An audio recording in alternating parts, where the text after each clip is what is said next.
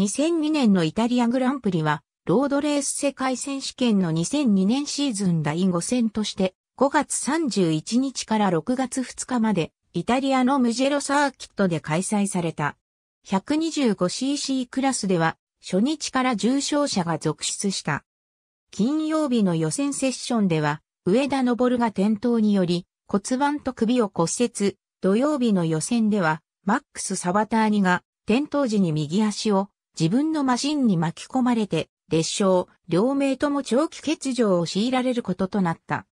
決勝レースでは、15台の大集団による苛烈なバトルを制したディフェンディングチャンピオンのマヌエル・ポジャーリがシーズン2勝目を挙げた。2位にはこのシーズン苦戦が続いていたデルビの運陽一が入り、シーズン初の表彰台に立った。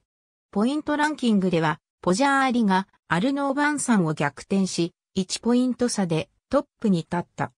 250cc クラスでは、今回新作映画のプロモーションのためにスパイダーマンを模したヘルメットつなぎマシンで臨んだマルコ・メランドリが、ロベルト・ロカテリーラを抑えて、地元グランプリを制し、シーズン2勝目を挙げた。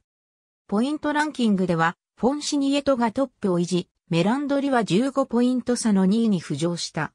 モートジッピークラスでは、バレンティーノ・ロッシが、マックス・ビアジとのバトルを制止3連勝、自身にとって最高峰クラスでの地元グランプリ初制覇となるシーズン4勝目を挙げた。